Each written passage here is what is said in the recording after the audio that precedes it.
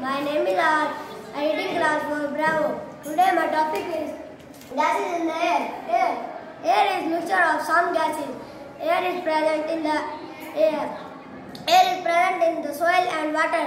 Air is very important for all living things. Now I tell you about atmosphere. A thick layer of air is 600 to 1000 kilometers in the air is called atmosphere. Wind. Wind.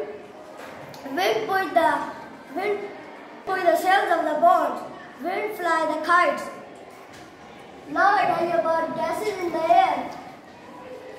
Air is mixture of some air is mixture of many gases. Some gases are oxygen, nitrogen, carbon dioxide. Now I tell you about oxygen. Oxygen is very important for all living things. Oxygen is present 21% in the air. Oxygen is also dissolved in water. Plants and animals live in water. They use they use dissolved oxygen in the in respiration. Now I tell you about nitrogen. Most part of the air is nitrogen.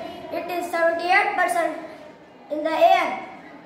When we breathe nitrogen, when we breathe nitrogen, it passes in and out of our body. Plants are unable to get nitrogen directly. Now I tell you about carbon dioxide. Carbon dioxide is very important to green plant. It is it is present less than one percent. Carbon dioxide is in sunlight. Plants use carbon dioxide and water in in